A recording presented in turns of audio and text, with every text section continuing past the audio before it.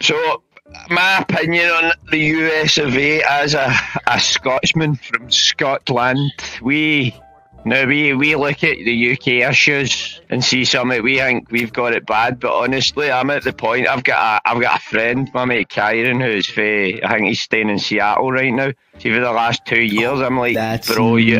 I'm like, bro, I want you to move away from America for your own fucking Dude, safety. I will literally. Like, I will literally. The- if- fact- when, I'm not living in America. When I when I am able to afford a house, I'm moving somewhere else. It's not going to be in America. It in my not. pure opinion, it's like I look, I'm like, it baffles me that people in America walk into a hospital and there's a doctor sitting with a cash register going beep boop beep, five grand for an ambulance, five thousand dollars for a fucking flu shot, three thousand dollars because you've got a wee shitty It's- cough. It's fucking It's mate. stupid, it's dude. the most capitalist driven, and it's so so sad to see, man. It's I I, I, I generally because some people can't afford that shit, and they're just dying on the street. It's stupid. I I generally feel sorry for the the ninety nine percent of America. It's so fucking sad, mate. We have our own problems over here in Scotland. We're not as bad. England has most of the UK problems, which we don't give a Yeah. shit about. But like just looking over, man, I'm like I go to the doctors, and when I used to have asthma, I would get my inhaler, and it's free. And I would go to the doctors if I want to get my COVID It's vaccine. It's so free. fucking- If I want it's- an operation, it's free. There's not, but, but so I just don't understand how a country can't figure out ways to just keep people Especially if alive. your You're country- Canada, you know this shit. Has a has a big fucking problem with murder and injuries. And it's done. It, it, like I get the thing is, uh, we need. Uh, there's already millions of guns. We need to have guns to defend against these guns. But that that's a non sequitur. That does absolute shit for nobody, right? I think the last the last gun massacre in Scotland was like Dunblane. And that was in like the 80s or the start of the 90s when Andy, Andy Murray was the, t- the tennis player. Andy Murray was actually at that school when it happened. So that was like the last time that kind of things happened. And, um, Yeah, and that's because we don't have fucking firearms. People can't buy firearms. Knife crime's a big problem, but we did like what was it since um as in the last 60 days there's been like eight different shootings in America. I get three hundred yeah, million people, You have like, but like Jesus, you have man. like school shootings. Like if you just walk in a bad neighborhood and you're not a certain type of person, you're gonna get you could get shot. It's crazy. I, I, I, I, so in summary, I genuinely Just Feel sorry for Americans general, like they just don't care for human lives. Apparently, then that one that one female cop apparently mistook a taser for a Oh, gun or a gun for a taser. I fucking want to punch her or square in her jaw. Right. Even at a One's a bright yellow Ugh. thing. One's a bright yellow gun that is like ten, probably ten times lighter than an actual firearm.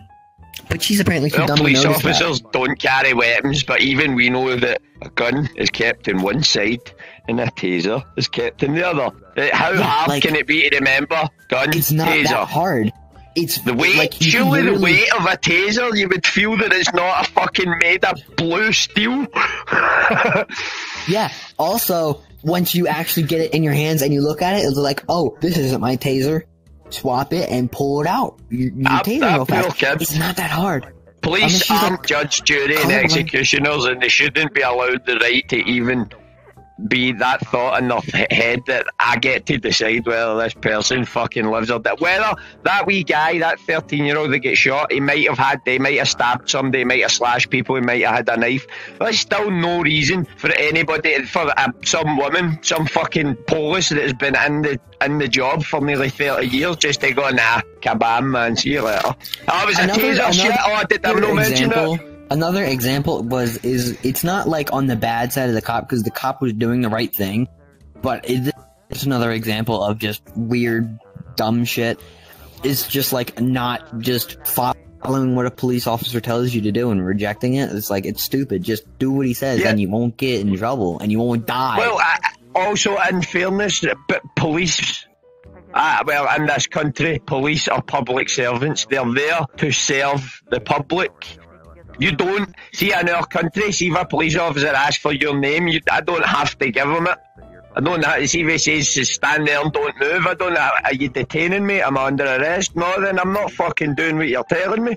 And, Mm. and I, I don't think just, and I think that put, pointing a gun in somebody's face is only going to exacerbate the situation. Somebody who well knows in Yeah, the law that they don't need to do what they and then they're gonna be nervous, and then they're gonna be like, "Oh, uh, there's a gun in my face. I should probably do something irrational." But and then they're gonna do uh, something like- irrational. think of a rabbit in the headlights. Like if you see something, they stop. The, the, the rational thing to do would to be to move out of the way, but it's shock, it's fear. You, you get stuck. Like take Yeah. that. Uh, what was the the lieutenant, the the Hispanic dude, the lieutenant, uh, Yeah. fucking the coppers. Uh, they're like he's like fucking the coppers. He's like. He's like, get out the fucking car, and he's like, sir, I would get out of the car, but I'm actually too scared to move. And he's like, ah, you fucking should be. Like, how fucking dare you say that to a man who served your country? You know what I mean? and and like and this one happened a while back, but like just just something about like racism and like what pe- people believe in. There was like I think it was um a Jewish um church. I don't know what they're called because I'm not Jewish. Synagogue. Synagogue.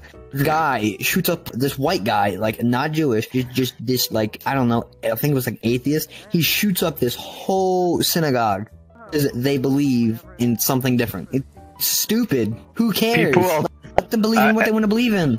And that this, all, Simple. all of this, everything with the police, the corruption, the, the fucking thingy, especially in America, America comes down to the education that people get at a very base level. Look at these rural towns where there's all these police officers come from. It's such a fucking shame. They're grown up and they're brought into that. They just live in racism. They're rappers on telly shooting guns and fucking waving chains. So they think, why should why should he be allowed to this fucker? You know what I mean? And it's sad. Yeah, it's just, it's, it's so sad, mate. It's So, so it's sad. stupid. That's why when I am able to move, I moving out of this fucking country.